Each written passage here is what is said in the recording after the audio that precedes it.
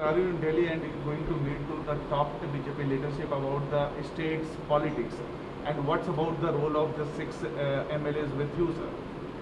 Uh, actually, you know, uh, the, they have been resigned from the INC and uh, they want to join BJP.